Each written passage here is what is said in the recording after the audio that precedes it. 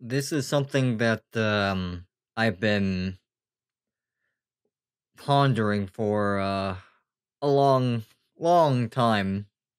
It's um something I've been considering for the past couple years.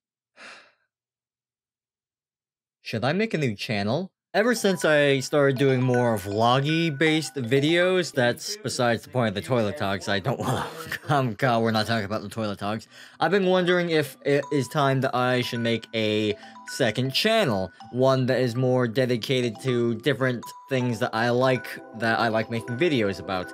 This channel will always stay the same, but I've always viewed this channel as more of as a way to document my life and uh, just the journey that my life has been going on on the internet, just so it's something I can always look back on like a, like a scrapbook, a uh, internet scrapbook, if you will. I've always wondered if I should maybe make another channel to dedicate to more video game stuff or stuff of that nature, and I even have a couple ideas that I want to do that deal with video games more, uh, well, like a, a particular series I have in mind about comparing fighting game mechanics to real life and how you can apply what you learned in fighting games and apply those to real life applications. I think I really want to try to make a, uh, a short series about that. I think it'd be very interesting, but I really need your guys' help. I've heard from people that it's a bad thing to start a second channel. There, there's pros and cons to starting a new channel, having a whole nother responsibility of another channel to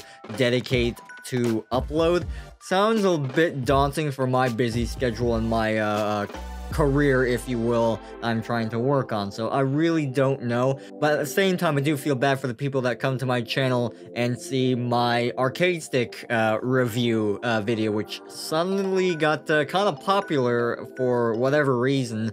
And it's cool because I want to talk, and I've been talking to people that have been uh, communicating with me on that episode about fighting game stuff and arcade sticks, which is really cool.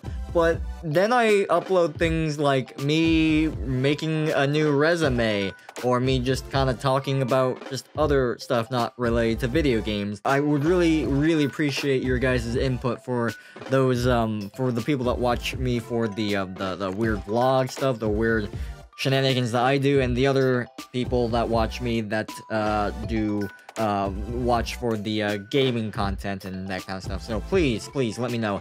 I, uh, I'm really, really torn on this. I think uh, outside help would be really helpful. So leave in the comments what you guys think. I, I really, really need your help on this one, guys. But uh, anyways, uh, I'm gonna go record a uh, useless vlog video. So um, I'll see you guys there. Peace.